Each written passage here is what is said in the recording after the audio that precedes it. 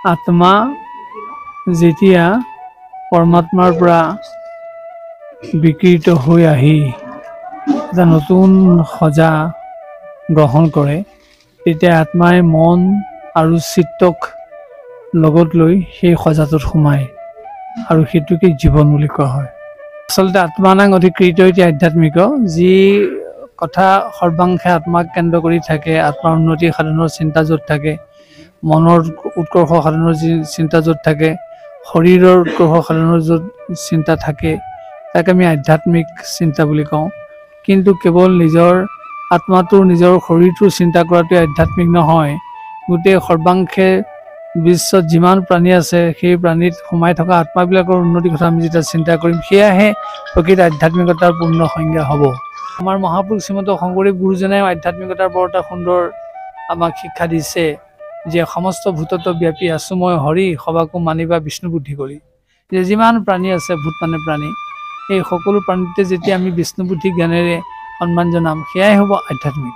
গতিকে অকল নিজৰ আত্মাটোৰ কথা নিজৰ দেহটোৰ কথা নিজৰ জীৱনটোৰ উন্নতিৰ কথা ভাবিম আনৰ কথা নাভাবিম সেইটো আধ্যাত্মিক হ'ব নোৱাৰে। আৰু আজি প্ৰজন্মই আচলতে ধূপ চাকি লগোৱা ক'ৰবাত মন্ত্ৰ মতা প্ৰাৰ্থনা এটা কৰা মাংগলিক কৰ্ম এটা কৰাটোকে কেৱল আধ্যাত্মিক বুলি ভাবি আছে। সেইটোৱে আধ্যাত্মিক নহয়। সৰ্বাংশে সকলো জীৱৰ যেতিয়া কল্যাণৰ চিন্তা কৰিব সেইটো হ'ব মূল আধ্যাত্মিকতাৰ সংজ্ঞা। এয়াতো হয়েই ধূপ লগোৱা চাকি লগোৱাত আমাৰ সেই ঈশ্বৰ ভাৱটো যেতিয়া আহিব আহ, প্ৰেমটো যেতিয়া আহিব সেই আধ্যাত্মিক হয়। কিন্তু প্ৰকৃত আধ্যাত্মিকতাৰ সংজ্ঞা লাভ কৰিবলৈ হ'লে আমি সকলো প্ৰাণীৰ প্ৰতি মমতাশীল হ'বই লাগিব। আৰু তাৰ উদাহৰণটো আমাক প্ৰকৃতিয়ে দিছে যে পৰোপকাৰায় বহন্তি নদ্যাহা পৰোপকাৰায় দুধন্তি গাৱাহা পৰোপকাৰায় ফলন্তি বৃক্ষাহা পৰোপকাৰায় চৈৰমেটত যে নৈখন যদি কুলু কুলু স্বৰেৰে বৈ আছে বা স্ৰোতশ্ৰেণী বেগেৰে বৈ গৈছে তাৰ উদ্দেশ্য পৰোপকাৰ। কাৰণ নৈ পানী খাই প্ৰাণীয়ে প্ৰাণ ধাৰণ কৰে।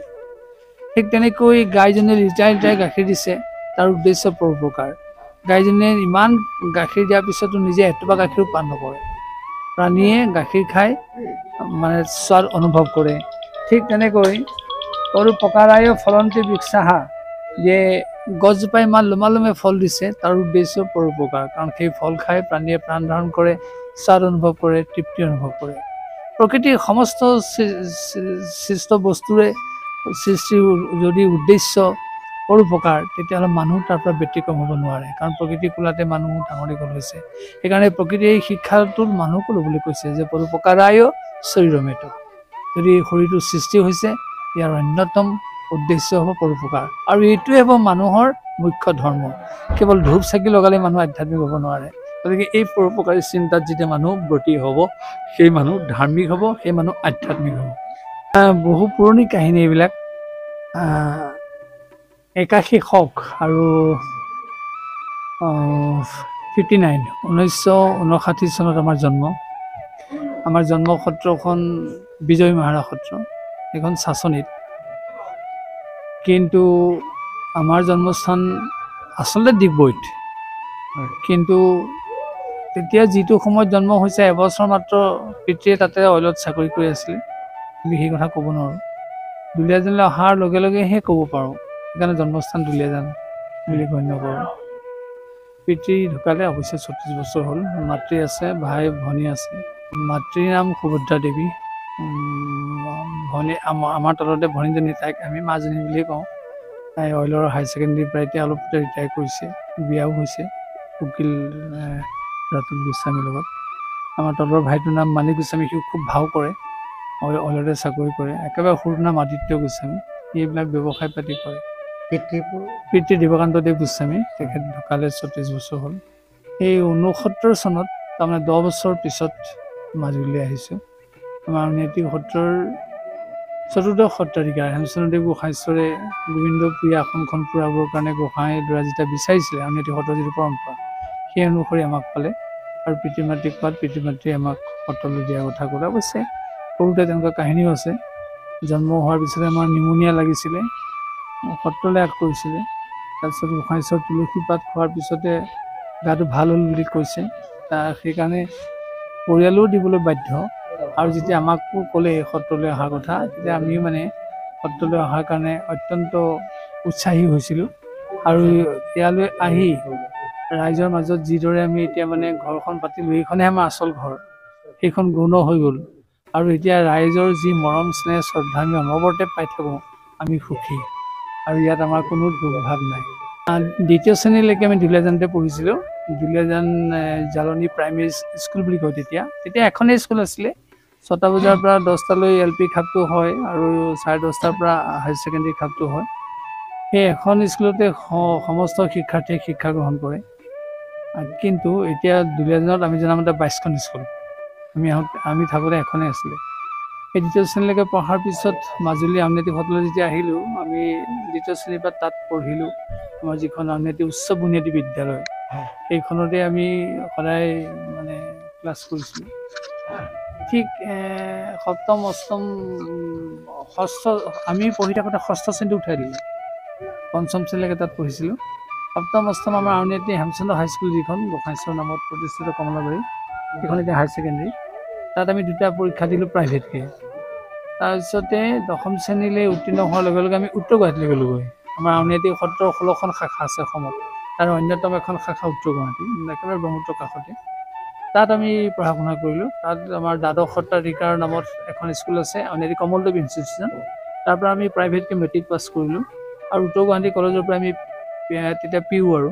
পি ইউ পাছ কৰিলোঁ। তাৰপিছতে দুবছৰ ছাত্ৰ সন্থা আন্দোলনৰ কাৰণে পিছুৱাই গ'ল। তিৰাশী আমি একাশীত ওলাব লাগিছিল। তিৰাশী চনত উত্তৰ গুৱাহাটী মহাবিদ্যালয়ৰ পৰা বি এ পাছ কৰিলোঁ। তেতিয়া আমাৰ অসমীয়াত অনাৰ্ছো আছিলে। আপোনালোকে জানি সুখী হ'ব। পঁচিছজন শিক্ষাৰ্থী আছিলে। অনাৰ্ছৰ। আহ, আমি প্ৰাইভেট আছিলোঁ কিন্তু গোটেইকেইজনজন আমিহে অনাৰ্ছটো পাইছিলোঁ। তাৰপিছত এই প্ৰাইভেট কিন্তু।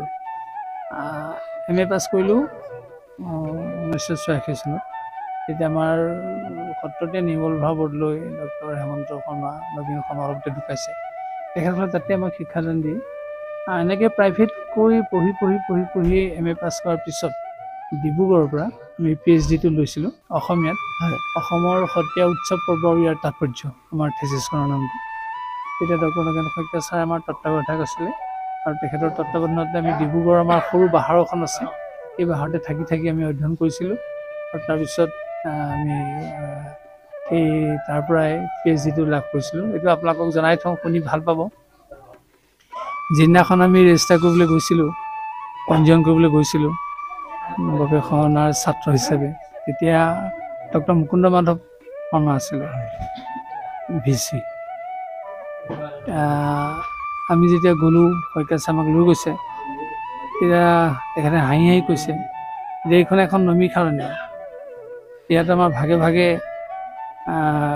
ঋষিৰ দৰে আমাৰ প্ৰফেচাৰসকলে ঘিতাহুতি দি আছে। গতিকে আপুনি যেতিয়া এই নমীখাৰণত প্ৰৱেশ কৰিলে তেতিয়া আপোনাৰ কাৰ্যটো সাধন হ'ব। আৰু তেখেতক সেই কথাফাকি লাগি গ'ল। ঠিক ছবছৰ মূৰত আমি পি এইচ ডিটো লাভ কৰিছোঁ।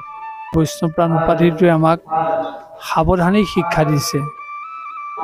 অৰ্থাৎ বৈষ্ণৱ হ'বৰ কাৰণে যিখিনি গুণ লাগে সেই গুণৰ শিক্ষাখিনিৰ কথা আকৌ যেন এই বৈষ্ণৱ প্ৰাণ উপাধিটোৱে আমাক মনত পেলাই দিছে। এই বৈষ্ণৱ প্ৰাণ উপাধিটো দিয়াৰ লগে লগে আমাক আচলতে শিক্ষাৰ বাৰ্তা দিয়া হৈছে। এই বৈষ্ণৱ প্ৰাণ উপাধিটোৱে আমাক সাৱধানী শিক্ষা দিছে।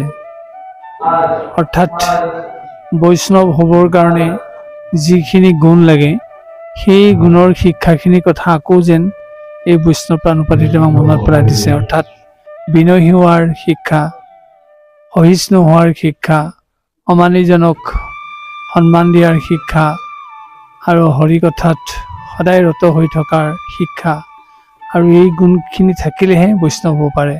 সেয়ে আমি এখন যদিও বৈষ্ণৱ প্ৰাণ ক্ষেত্ৰত আছোঁ কিন্তু এই বৈষ্ণৱ প্ৰাণ উপাধিটোৱে আমাক এই গুণবিলাক অৰ্জন কৰাৰ ক্ষেত্ৰত আৰু সাৱধানী হ'বলৈ শিক্ষা দিছে।